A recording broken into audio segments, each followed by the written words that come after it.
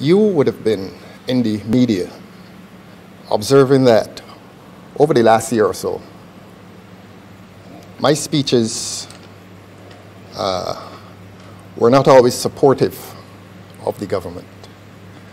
But still, I felt an obligation as a member of the parliamentary government to protect the interests of the government, protect the political interests of the government.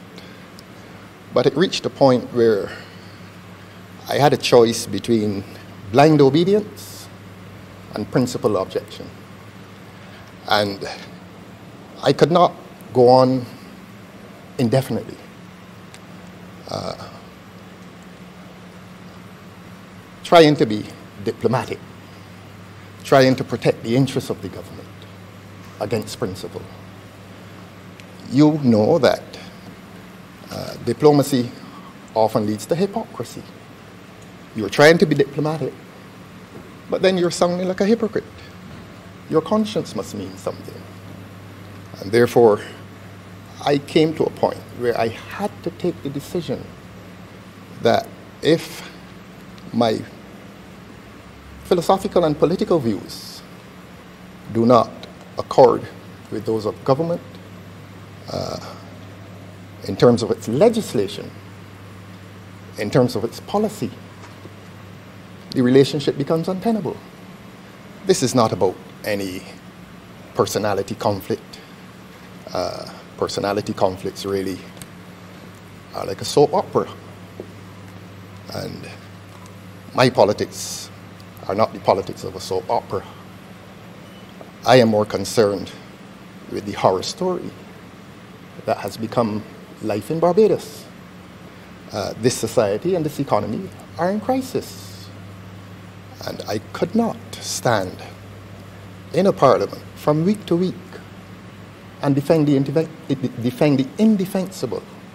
I could not stand in a parliament week after week and try to be diplomatic.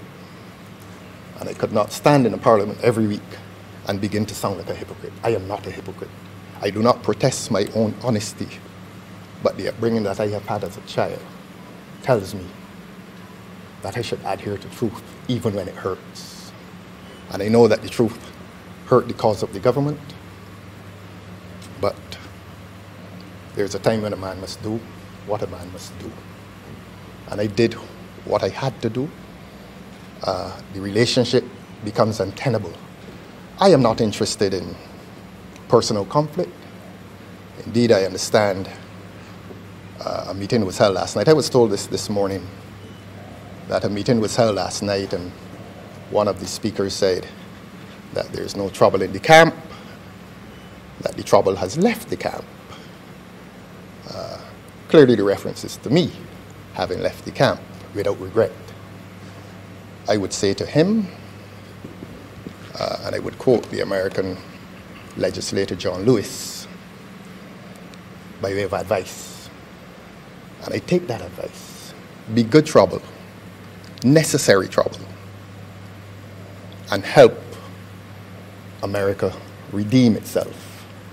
In the context of Barbados, I say to him, I intend to be good trouble, necessary trouble, and help Barbados redeem its soul. Were there specific policies that you did not agree with? Oh, yes. Oh, yes. Last year during the budget uh, debate, uh, my speech, I think, this is not to be immodest, stood out for its criticism, deep criticism of government in terms of sending home some of the most vulnerable people in Barbados. When those people received those jobs, I praised the government. But here was a government sacrificing the interests of the most vulnerable. And here was a government enfranchising a large cadre of Barbadians called consultants who live well, who eat well, who sleep well. And we were condemning the poorest and the most vulnerable people into greater adversity.